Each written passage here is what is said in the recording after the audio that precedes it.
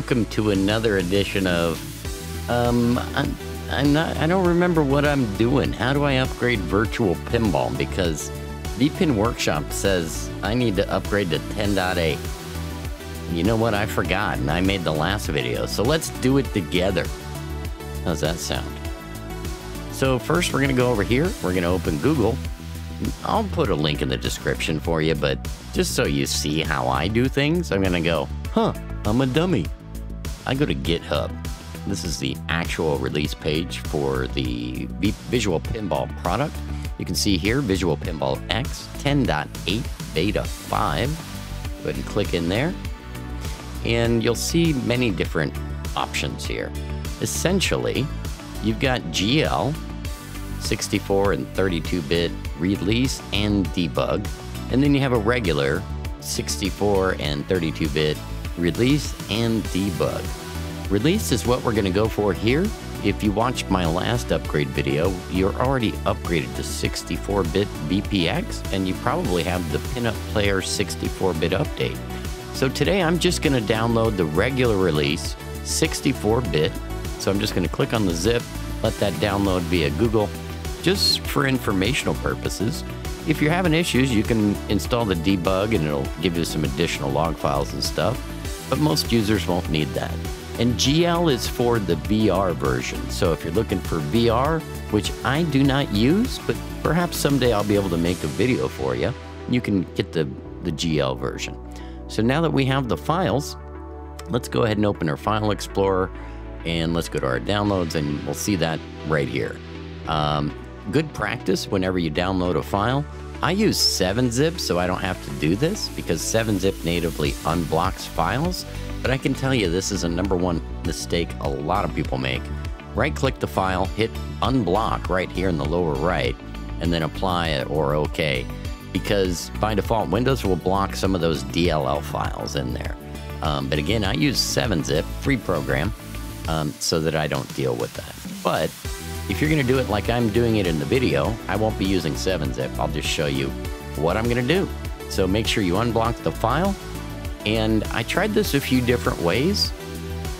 This is probably the most foolproof, but your results may vary, and you should always back up your folders before you do any of this. I am not responsible for your installation, but I am here to help. So leave us some note in the comments if this helps you, if you like the work we do, and if you don't like what I do, uh, keep that to yourself. But if you need help, let me know. We're there to help you. So I'm just going to copy all the files except the tables folder. Going to keep it really easy for you. Um, now I'm going to go into where my visual pinball for hopefully for you it's on your cab or desktop wherever you have it it's in the root under V pinball for me it's there and then I have visual pinball and I can just paste this in. It's going to say do you want to replace these files? I'm going to say yes. Now, if you followed my previous installation, you'll have, you know, a 32-bit executable. I have uh, Visual Pinball 107.2.exe. This is my 32-bit installation. You can see that here when I go help and about. It is 32-bit Visual Pinball. This is 10.71 actually. But, you know, just to show you everything's working right, I can pop open a a table that doesn't require a newer version. Of course, I picked something with that was created in 10.8, but this one I know should play okay.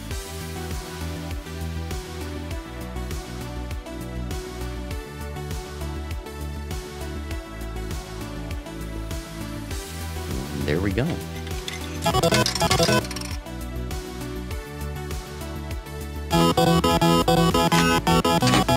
Crawl from Rascal. Looking good, lights look good. It's using all the old lighting DLLs. Things look good here. Uh, except for the guy playing. He's, he's not very good. Alright, I'm gonna close that up. x64.exe. So now I'm gonna open up that one. I'm gonna go to File and, uh, I'm sorry, Help and About. And look at that. I am running 10.8 beta, uh, revision 1347, 64 bit. All right. Now, there's one table right now that requires this. So we're going to go in there. Johnny Mnemonic from VPin Workshop. This one likes 10.8, and there's a reason for that. You're about to see why. It's got some particularly awesome new lighting effects and bloom features and all sorts of stuff. This also requires VPinMAME 3.6, but if you used my 64-bit upgrade guide, you will also already have VPinMAME. I have to do some adjustment here to my uh, external DMD, but as you can see, everything is working here. Look at the light effects here.